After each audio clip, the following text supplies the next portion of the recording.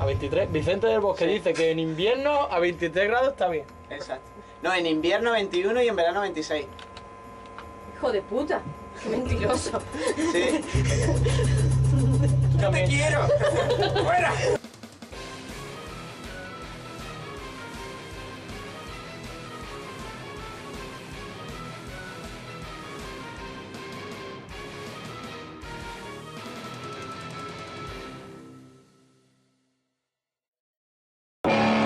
La acústica que tenéis, ¿cómo se llama? Se llama la acústica de Álvaro. Yo quería recoger una de la guitarra, pero la otra se me olvidó en la sala. Entonces cuando llegué a Valencia no la encontré.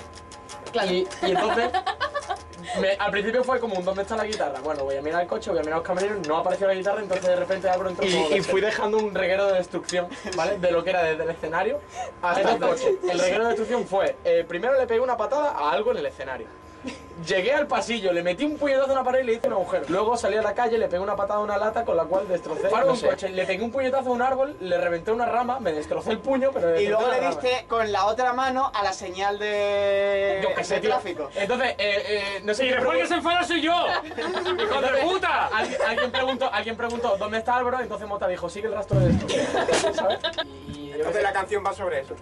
Sí, va de Exacto. Es que era una, era una canción que yo, tenía por ahí suelta. Mira, podríamos hablar de alguien que pierde algo y que luego lo recupera, pero en el tramo lo pasa muy mal. Entonces, lo primero que le dije fue que hija de puta, ¿sabes?